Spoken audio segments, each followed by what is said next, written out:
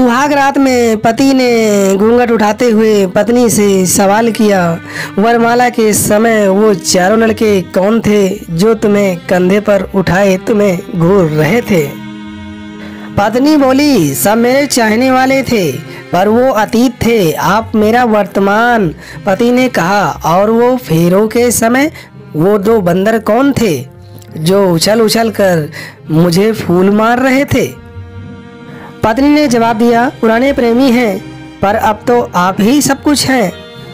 पति ने कहा, और विदाई के समय वो मुचमुंडा मुझे धमकी क्यों दे रहा था कि तुम्हें ठीक से रखूँ? पत्नी ने जवाब दिया, वो विकास है। मेरा सबसे खास बॉयफ्रेंड उसी से आपकी तगड़ी टक्कर थी, पर बाजी आपने मार ली। पति गुस्से में तुम लड़की हो या आईपीएल ट्रॉफी, सब तुम्हें ही चाह रहे हैं। पत्नी ने कहा, आप भी टीम गिनने बैठ गए, ट्रॉफी जीतने की खुशी तो है ही नहीं। हास्य व मनोरंजन से भरपूर चुटकुले पाने के लिए वीडियो को अभी लाइक करें और चैनल को सब्सक्राइब करें। धन्यवाद।